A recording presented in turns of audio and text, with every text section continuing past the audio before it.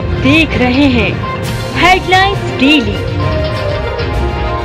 H D news Indore शहर में हत्या एवं हत्या के प्रयास डकैती, बलात्कार जैसे संगीन अपराध लगातार बढ़ रहे हैं। जिससे इंदौर नगर बदनाम हो रहा है।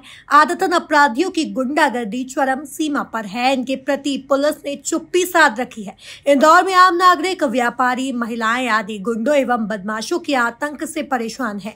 शहर में नशे का कारोबार भी बड़े पैमाने पर हो रहा है। अवैध रूप से शराब के साथ ही मादक पदार्थ भी धड़ल्ले से बेचे जा रहे हैं। स्कूल एवं कॉलेज के विद्यार्थियों को नशे का शिकार बनाया जा रहा है। इन सभी समस्याओं को लेकर सोमवार को सर्वधर्म अध्यक्ष अध्यक्ष मंजूर बैग की अगुवाई में इंदौर पुलिस कमिश्नर राकेश गुप्ता को एक ज्ञापन दिया गया, जिसमें मांग की गई कि अतिशीघ्र पुलिस गुंडे बदमाशों के खिलाफ सख्त से सख्त कानूनी कार्यवाही करे। आदतन अपराधी एवं नशे का व्यापार करने वाले तत्वों पर कड़ी से कड़ी कार्यवाही की जाए। सर्वधर्म संघ ने आरोप लगाते हुए कहा कि इंदौर क्षेत्र में जहाँ खुलेआम नशे का व्यापार होता है, अमूमन सभी जगह की जानकारी पुलिस को है।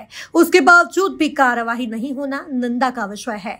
ज्ञापन के पश्चात पुलिस कमिश्नर श्री राकेश गुप्ता ने सर्वधर्म संघ के अध्यक्ष मंजूर बैग से नशे का अवैध कारोबार करने वाले तत्वों की जानकारी भी देने की बात कही।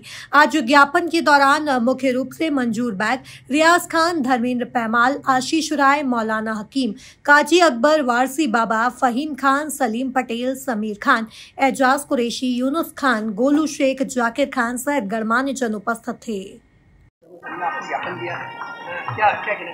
देखिए, इन्होंने एक ज्ञापन दिया है और हालाँकि बहुत इसमें स्पेसिफिक नाम हमें नहीं मिले हैं।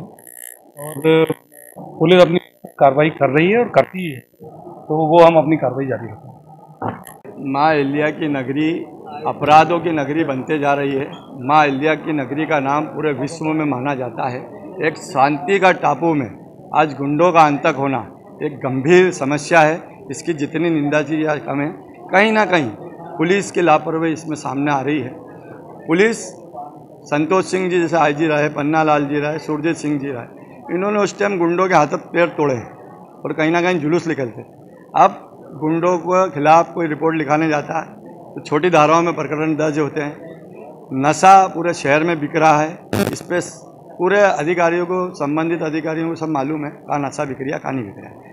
लेकिन आईजी साहब ने कहा है पुलिस कमिश्नर साहब को हम नाम देंगे और पते के साथ नाम देंगे कि कहाँ कहाँ नशे बिक रहे हैं और कहाँ नहीं बिक रहे हैं। उन पर कार्रवाई होना चाहिए। नशा बंद होगा तो आदतन अपराधी कम होंगे। कहीं ना कहीं जो नए अपराध करते हैं वो नशा करके करते हैं।